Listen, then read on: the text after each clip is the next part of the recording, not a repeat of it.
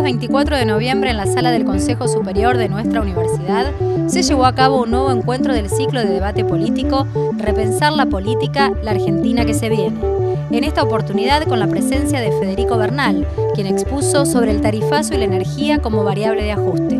Esta actividad fue organizada por el Centro de Estudios Políticos Arturo Jaureche del Centro de Política y Territorio. Bueno, un poco en la charla, que lo que conversamos inclusive después que se dieron en el debate con los, con los alumnos es eh, la energía debe ser pensada en función de nuestro interés, del interés de la ciudadanía, es decir, contemplada no como una mercancía, como un commodity, sino como un bien estratégico, eh, universal, es decir, que debe eh, crecer su accesibilidad para un mayor número de compatriotas de forma progresiva, permanente. La energía como motor para un proceso de industrialización, de desarrollo, eh, inclusive como motor también para el desenvolvimiento del aparato científico-tecnológico.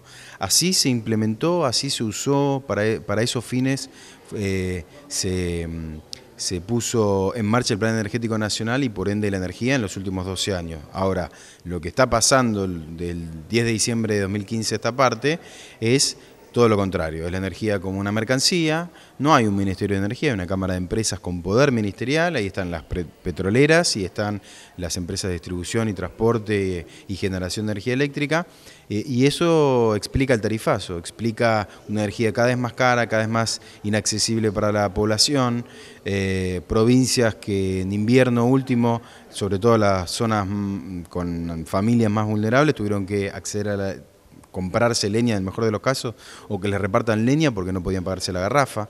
Bueno, eh, eh, eh, el tarifazo, el incremento exponencial, los nuevos cuadros para el gas, tarifarios para el gas y la electricidad, tienen que ver con esa concepción mercantilista, privatista de la energía.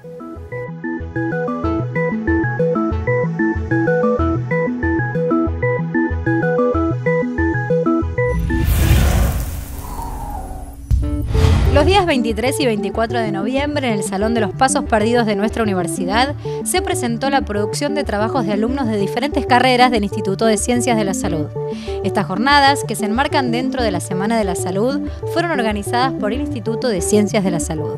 Bueno, es una jornada, una especie de feria, donde tratamos de que los alumnos de primer año del ciclo básico de salud, que son comunes a todas las carreras del instituto, puedan mostrar lo que estuvieron trabajando durante el año. La, producción final lo que tiene que mostrar es cómo se integraron los conocimientos de las asignaturas en una producción.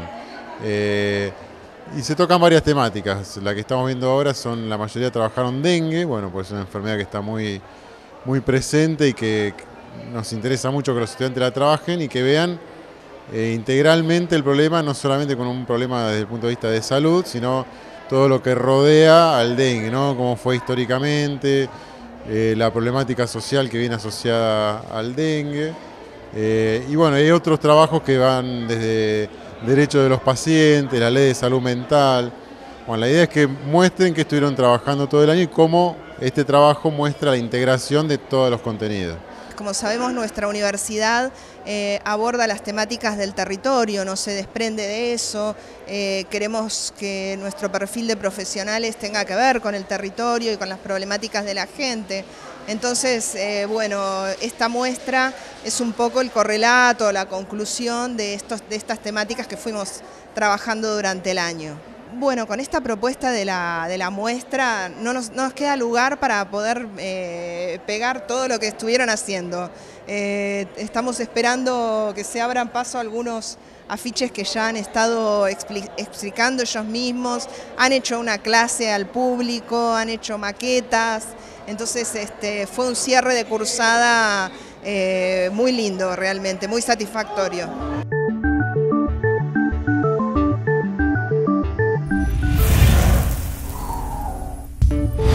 Martes 22 de noviembre, en el auditorio de nuestra universidad, se llevó a cabo un taller vivencial sobre discapacidad, a cargo del equipo de la ONG SILSA. El taller estuvo destinado a los trabajadores no docentes de la universidad y fue organizado por el área de discapacidad de la Unidad de Asuntos Estudiantiles.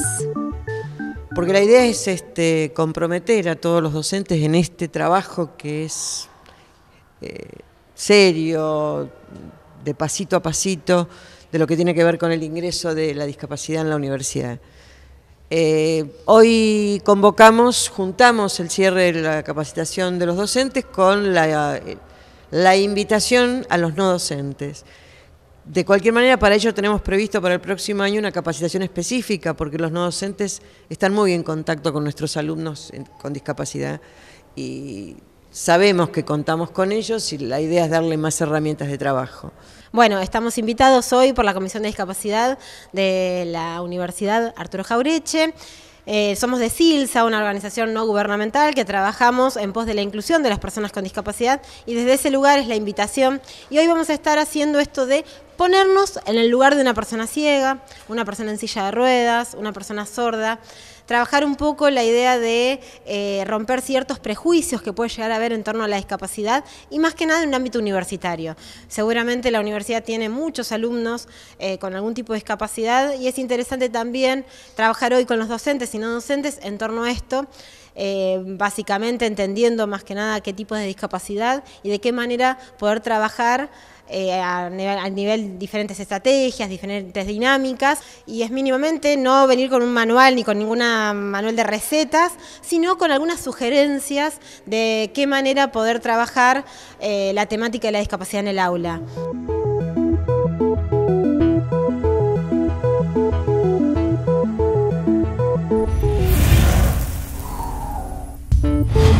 Lunes 21 de noviembre en el auditorio de nuestra universidad se presentó el grupo folclórico ruso Grenada, con un espectáculo de canciones y danzas típicas de Rusia en el que también estuvieron presentes canciones latinoamericanas. Esta actividad fue organizada conjuntamente con el Centro Ruso de la Cultura y la Ciencia, Casa de Rusia en Argentina, la Dirección de Relaciones Internacionales y el Centro de Política y Territorio. El grupo Grenada es un verdadero fenómeno en la vida musical rusa eh, yo creo que eh, es el único grupo musical en nuestro país cuyos participantes eh, tocan todos los instrumentos del mundo y cantan en todos los idiomas del mundo, dando la preferencia al idioma ruso y al idioma español.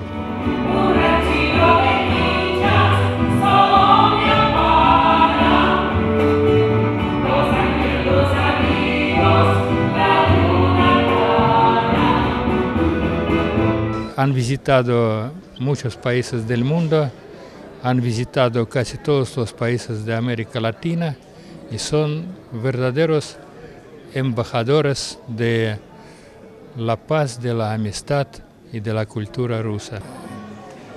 Los contactos que establecimos entre la Universidad de Jaureche, entre la Casa de Rusia, son los contactos eh, en el campo cultural y en el campo educativo.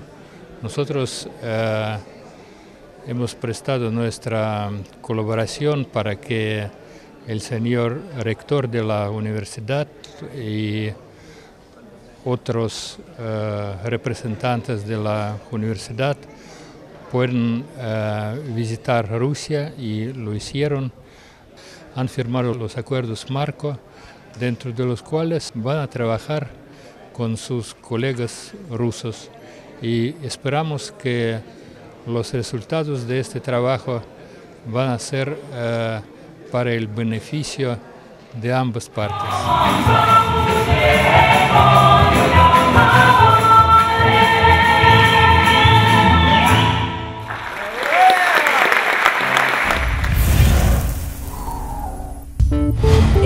23 de noviembre, en el auditorio y el hall central de nuestra universidad, se realizó la muestra anual de talleres de UPAMI. Esta actividad fue organizada por PAMI, la Coordinación de Centros Locales y la Unidad de Vinculación Cultural del Centro de Política y Territorio.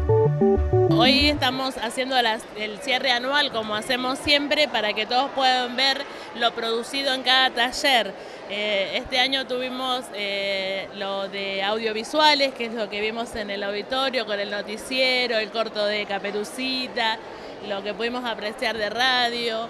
Otra cosa que hicimos este año fue participar en los torneos y la universidad estuvo eh, representada a través del taller de arte y de literatura, ganamos las etapas locales, llegamos a la regional, eh, también los chicos de computación, los chicos con la, hicieron una mateada de integración, bueno, feliz y muy bueno el balance. Y cada taller hizo la muestra de su taller, con los, están los chicos de los talleres de los derechos de las personas mayores, de arte, de computación, el taller de memoria, narradores orales, escritura creativa, eh, ecología, que hicieron que el furor de son las cocinas solares que hicimos este, este cuatrimestre, las secadoras de vegetales.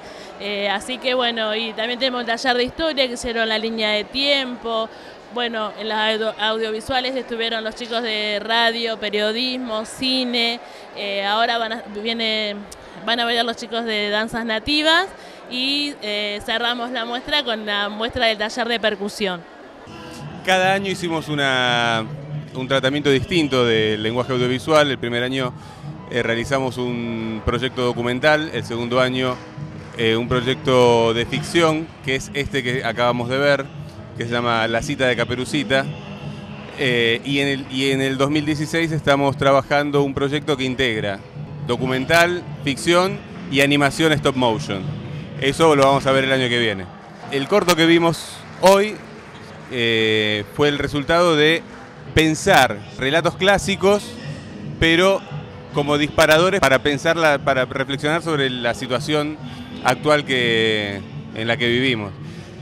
Y el cuento clásico de Caperucita Roja nos disparó pensar sobre la violencia de género, sobre el lugar de la mujer en la sociedad.